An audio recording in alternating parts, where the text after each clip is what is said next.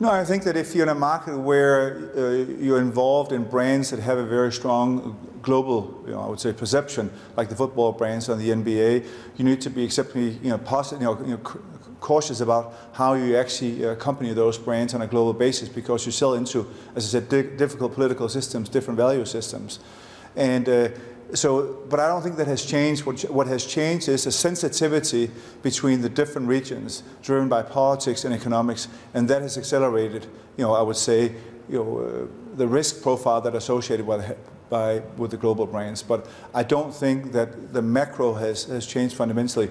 We have not changed our position. We are not a political brand, and we don't aim to be a political brand. We aim to be a brand that allow people to exercise and do sport and just feel good about wearing our products. And other companies in the space have got involved in politics. Um, their, their, their, support of Mr. Kaepernick, for instance, as well. But just talking about Nike, uh, Mark Parker stepped down as well. The Oregon Project, a lot of questions about that. A lot of questions about retesting of athletes' doping samples as well, and blood samples as well.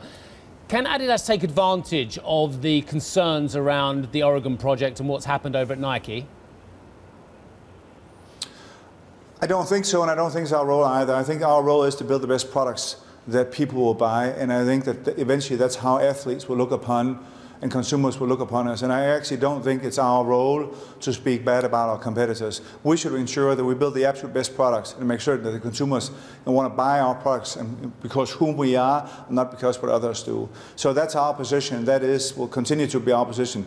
Going back to 1924, the origin of the company was very simple: build the best product for the athletes, and that remains unchanged in 2019. And when we do that, then we have good numbers. And like in 2019, it will be a record year because we built great products. Hi, I'm Joumanna Bercetche and thank you for watching. You can check out more of our videos by clicking on the boxes on the screen.